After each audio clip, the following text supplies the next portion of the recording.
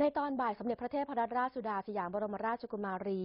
ทรงปฏิบัติพระราชกรณียกิจแทนพระองค์ ทรงพระสุรายเทวรูป พระอิศวร พระอุมา พระพิกเนตพระนาราย และพระพรหมในการประกอบพิธีจำปวายตรีปวาย เวลา 13นาฬิกา40 นาที สมเด็จพระเจ้าอยู่หัวทรงพระกรุณาโปรดเกล้าโปรดกระหม่อมให้ สมเด็จพระเทพรัตนราชสุดาสยามบรมราชกุมารี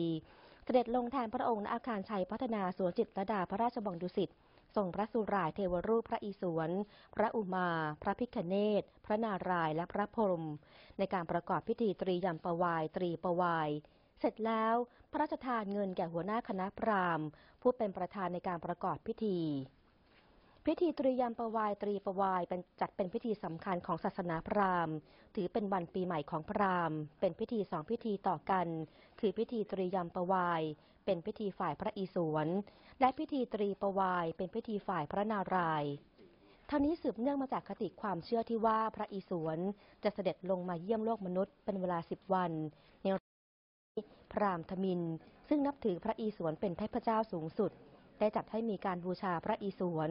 เรียกว่าพิธีตรียมประวาย และเมื่อพระอิศวรเสด็จกลับสู่สวงสวรรค์แล้ว ก็ถึงช่วงเวลาที่พระนารายณ์เสด็จมาบนโลกมนุษย์ และจัดให้มีพิให้มีพิธีบูชาที่เรียกว่าพิธีตรีประวาย โดยปีนี้พิธีตรียมประวายตรีประวาย เริ่มตั้งแต่วันที่ 4-18 มกราคม 2560